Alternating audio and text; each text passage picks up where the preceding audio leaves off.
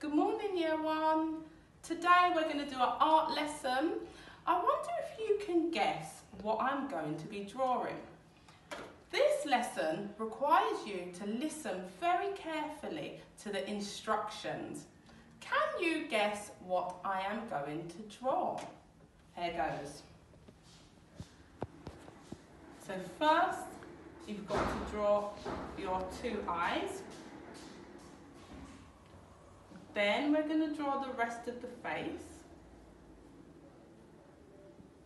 Big smile. Now the body.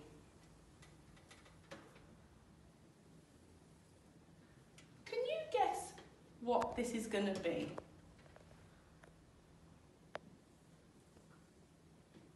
Four legs.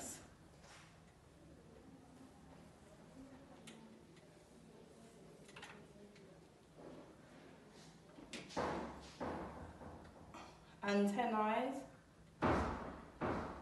And last but not least, the spots.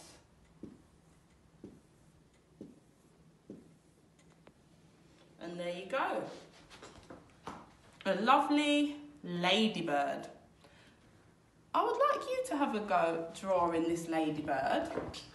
As a challenge, can you think of some adjectives to describe it?